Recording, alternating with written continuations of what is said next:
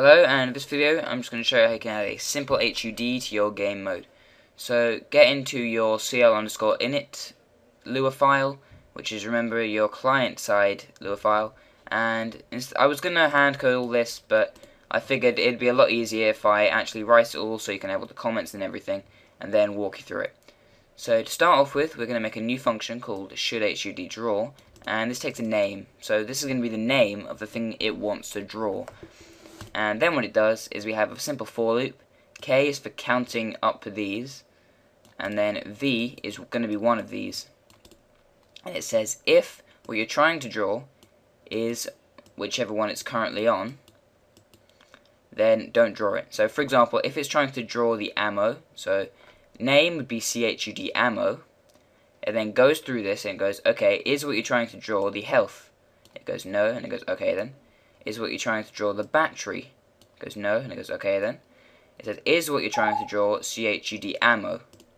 And it goes, yes, that's what I'm trying to draw. And it says, in that case, if what you're trying to draw is CHUD ammo, then return false, so don't draw it.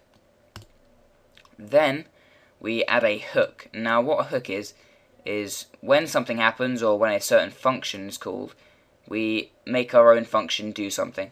So for example, when it's trying to draw something, so HUD should draw, we make a hook called hide HUD, that can just be called whatever you want, and that calls our should HUD draw function.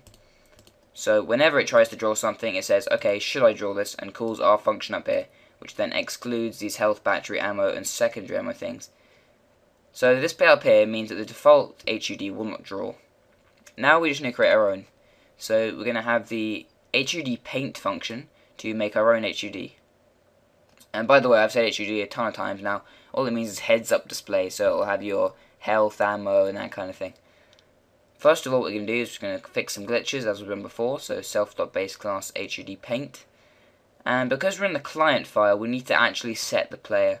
So we're going to have a local variable called PL, and we're just going to set that to the local player function. So that basically gets our player.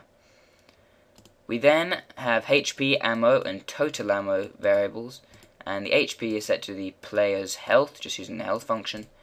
We get the ammo using, we get the active weapon, and then get its current clip, and we get the total ammo by counting the ammo of the active weapon's primary ammo type.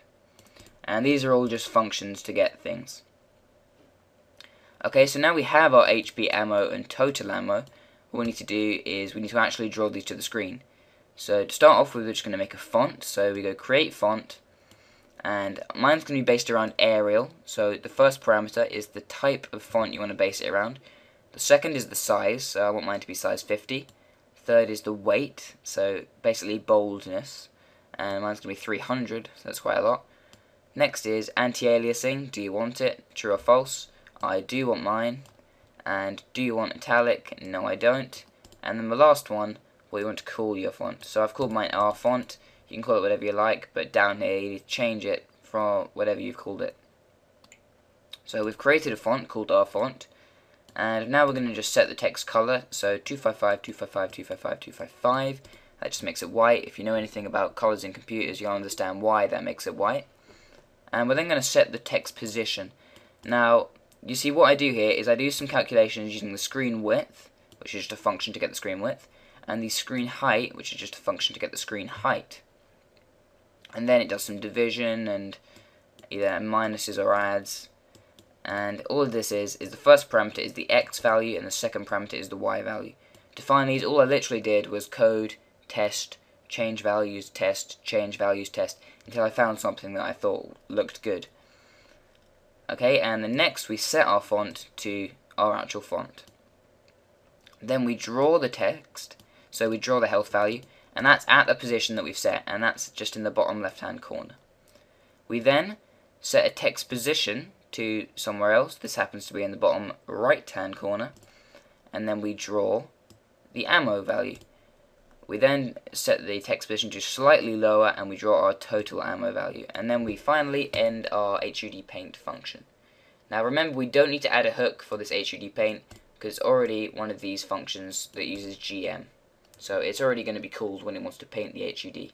So just save your client file and we can now test it out. So just click Start New Game, uh, select a map, just go to the little spanner, and then choose your mod out of the little drop down box, click Start Multiplayer, and it'll just load up.